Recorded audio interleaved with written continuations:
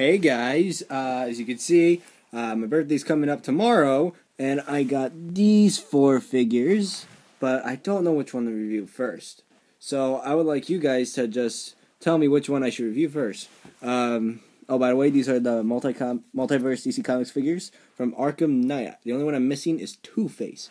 Um, so, like, you can comment or message me or whatever and see which one you guys want me to review first.